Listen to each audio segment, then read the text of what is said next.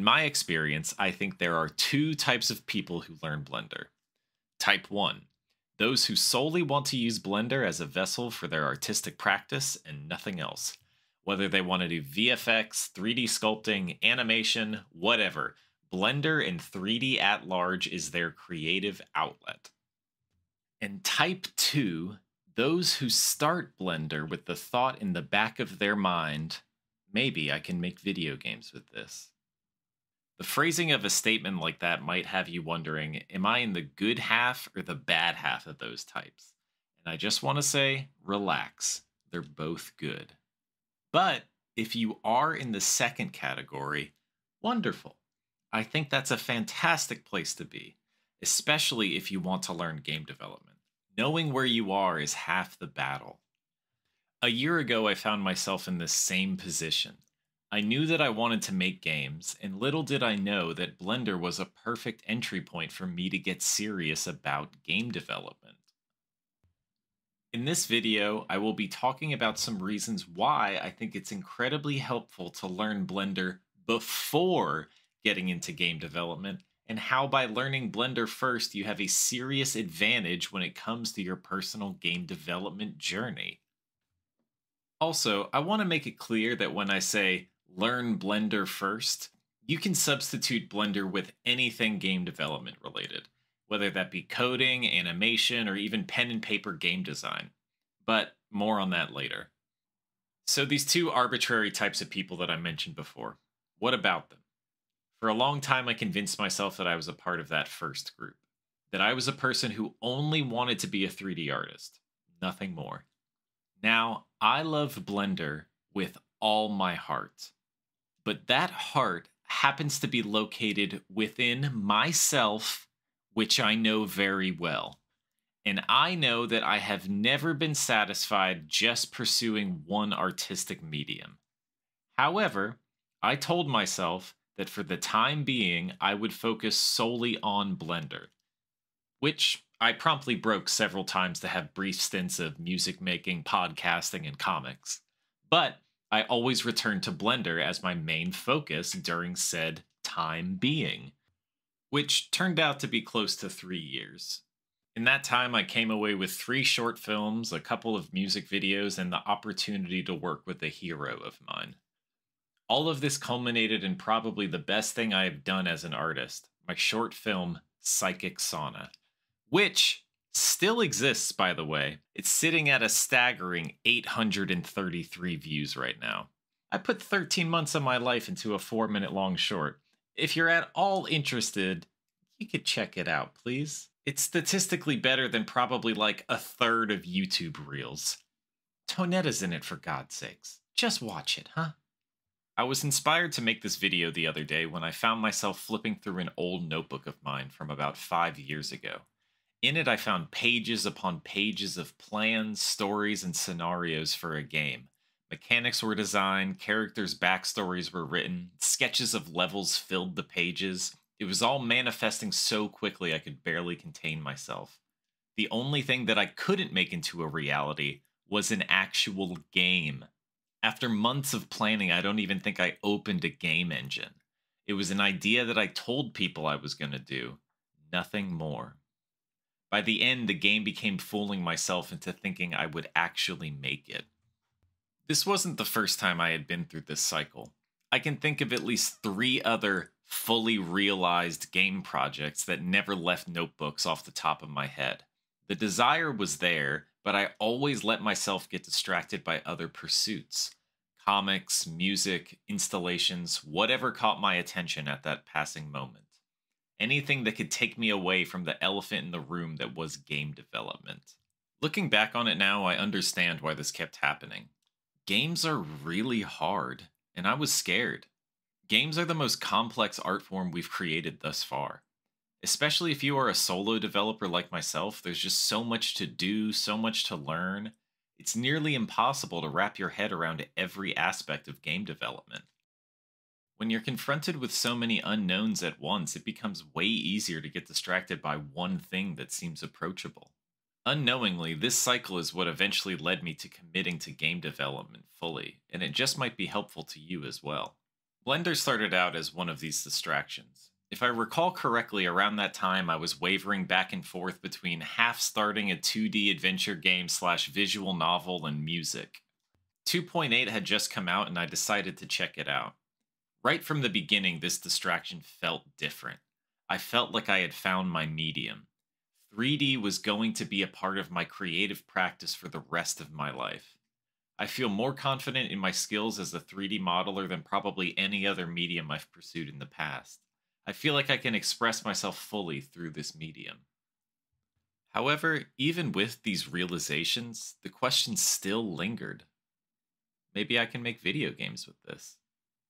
In early September 2022, I decided that I was ready to fully dedicate myself to game development.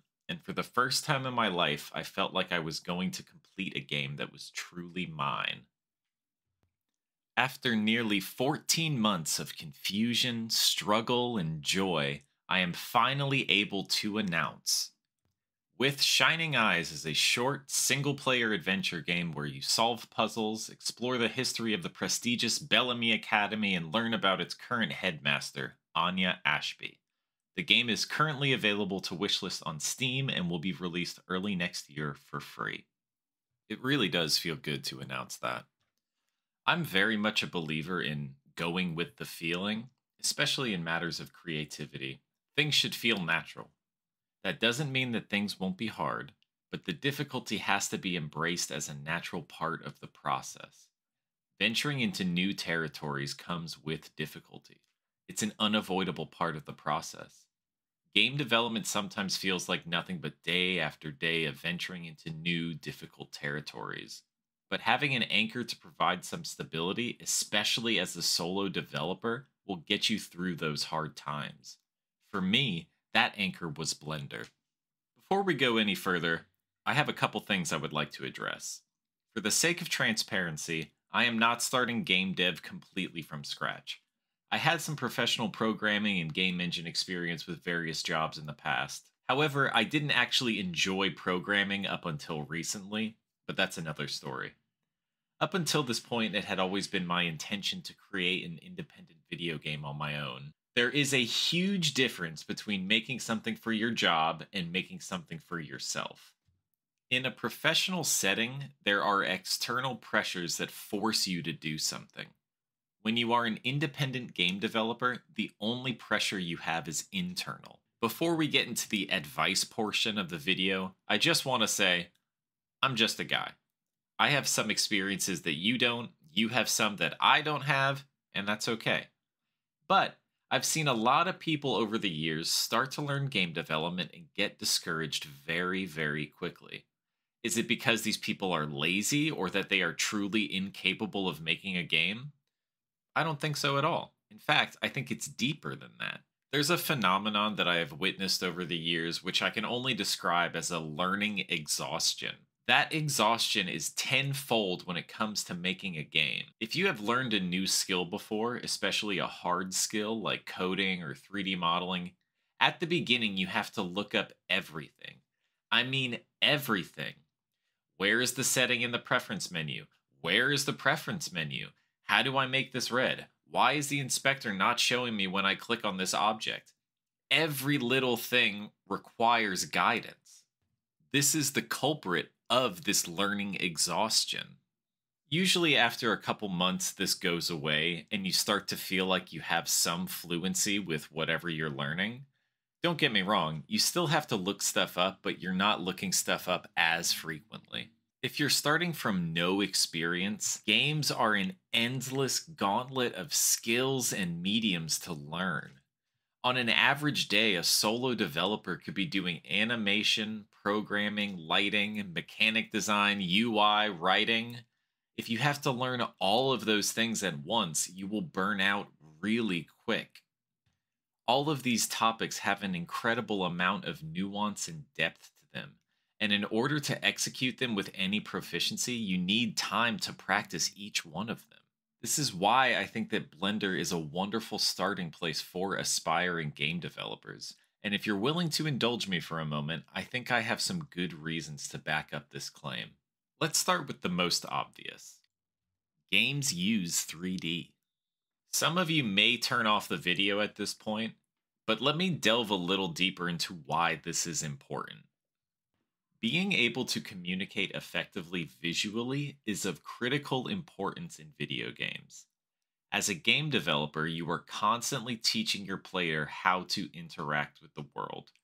From drawing the player's eye to certain locations in a level, setting a goal for the player, creating a mood, player animation, or even just making sure that your player understands red equals bad, green equals good. The list is endless.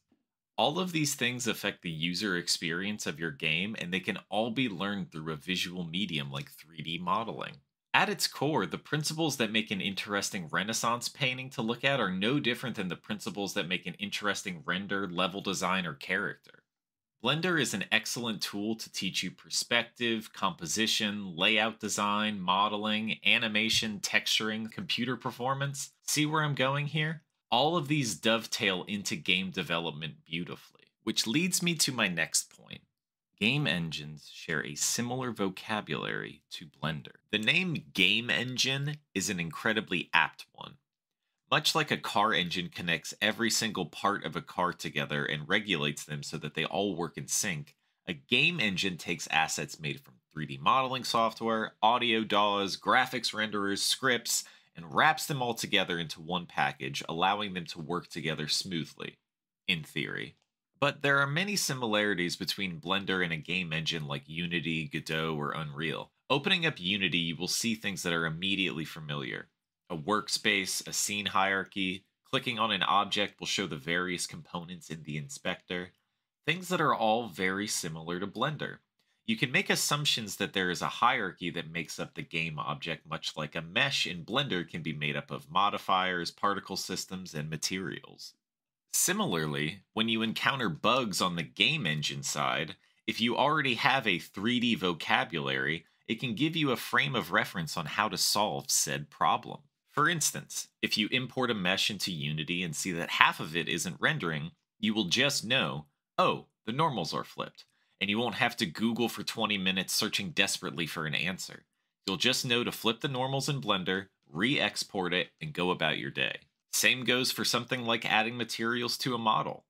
When you see the default material shader in Unity, you'll already know what albedo, roughness, and normal maps do, and you'll understand, oh, that's how this engine does PBR textures. Since game development is such a multidisciplinary art, by focusing on one area first and getting an understanding of how that medium of game dev functions, when you open the floodgates to the rest of game development, you'll see that everything is interconnected in this beautiful and wild mess. Speaking of which, games are incredibly complex. Even the most simple games require a tremendous amount of effort to get off the ground. Let's do a quick thought experiment. Let's say you want to create a game where a character starts on the left side of the screen then walks to the right side of the screen, talks to another character, answers a yes or no question, and then finally transitions to an end screen. In order to do just that, a new developer will have to download an engine, get an IDE working, learn how to navigate the engine, create a scene, figure out how to draw a character on screen, figure out how to get that character to move left and right, make it so when the character gets a certain distance away, you have the ability to interact with the other character. That interaction has to trigger a dialogue system. The dialogue system requires you to add UI to your scene. Then you have to create an options menu that allows you to select a different choice. Each choice then has to have a different response. Finally, you have to code something that changes you to a new scene. Oh, and then at the end, you have to make it fun. What I mentioned was just the technical side. Game design is a discipline in itself that requires a tremendous amount of practice and skill. It's a lot. And the weight of this complexity hits so much harder when, after all that work, your end result looks like this. Games are not easy. The amount of systems interacting with one another is enough to make even the most calm, aspiring developer spiral. Which brings me to my final point. Gaining confidence in one area will make learning new things easier. Learning to learn is a skill in itself. While the skills may be different, the process is almost always the same. The sooner you get used to that process, the better off you'll be. With games being the complex beast that they are, you will constantly have to learn new things on a daily basis. If you have one pillar of game dev that you feel confident in, it will make the other things a little less daunting, in my opinion. And you can use your skill in one area to lean on when you are less confident in others. I call this your anchor skill. It's the skill that you know you can always depend on and use as a means of problem solving other areas that are out of your skill set.